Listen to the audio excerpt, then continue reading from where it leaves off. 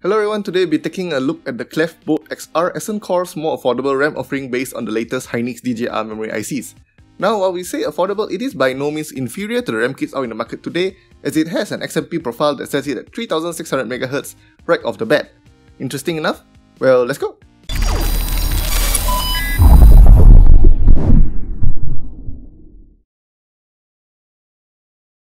We have already done an unboxing for the Klevv Bolt XR and you can check it out via the link in the description below. It comes in pretty simple packaging but the downside is that you will have to rip apart the packaging to get the RAM out. But you don't pay for the packaging, you pay for the RAM and the Klevv Bolt XR are actually quite good for what they offer. Based on the Hynix DJR memory ICs, the Klevv Bolt XR comes with an XMP profile that lets you run them at 3600MHz, CL18, 22, 22, 42 which is something you can often find in much pricier RAM kits too. The voltage is the pretty standard 1.35 volts, so we won't have issues running this with any system that is spec for DDR4.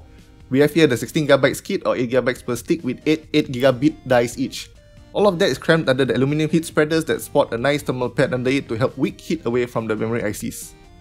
Speaking of the aluminium heat spreader, it spots a nice gunmetal bronze color which looks amazing. It also spots some nice design elements like the raised knobs and deeper grooves along the top.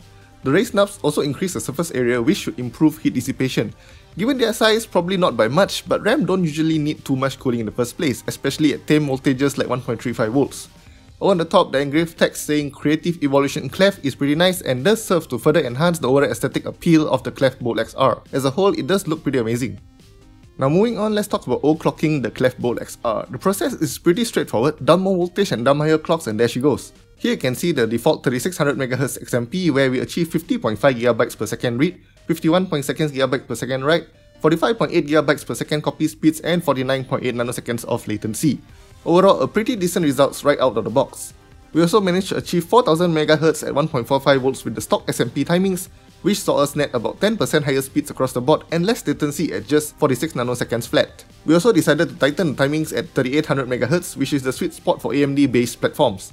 Here we managed to get it down to CL16, 21, 21, 36, which is not excellent but good enough for 54.8GB per second read, 54.4GB per second write, 49.6GB per second copy speeds, and a surprisingly good 45.7 nanoseconds latency. All of the above were 400% HCI test stable, so they should be stable enough for daily usage too.